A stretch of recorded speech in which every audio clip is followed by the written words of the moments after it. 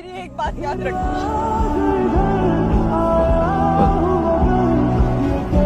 तुम्हारे पास ज़िंदगी की सारी आसाइशें होंगी, लेकिन सच्ची मोहब्बत नहीं होगी।